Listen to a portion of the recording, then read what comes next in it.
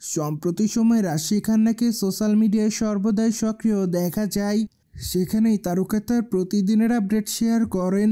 মোরবার মাঝে মাঝে খোলামেলা পোশাকের ছবি শেয়ার করে আলোচনায় থাকেন এই তারকা। ঠিক এই জন্য অবশ্য তিনি তার রূপের গুণে দর্শকদের মাঝে আলোচনায়। পায়দয়ে বর্তমানে এই তারকা তার ইনস্টাগ্রাম হ্যান্ডেল অনেকগুলো ছবি শেয়ার করেছেন।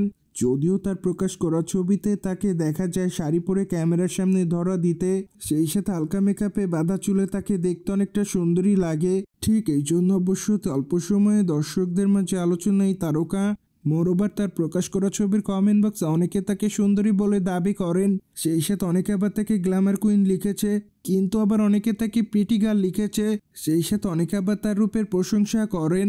যদিও আবার অনেকে তাকে ইমোজি দেয়। সেই সাথে অনেকে আবার তার আপকামিং চলচ্চিত্রের জন্য অপেক্ষায়। কেননা অনেকদিন যাবৎ এই তারকার চলচ্চিত্র দেখা যাচ্ছে না। ঠিক এই জন্য আপাতত তার অনুরাগীরা তার আপকামিং চলচ্চিত্রের জন্য অপেক্ষায়। মোরোবার সম্প্রতি এই তারকার একটি চলচ্চিত্র উন্মোচন করা হয়েছে। সেখানে অবশ্য তার অভিনয় তার অনুরাগীদের কাছে ভালো লেগেছে।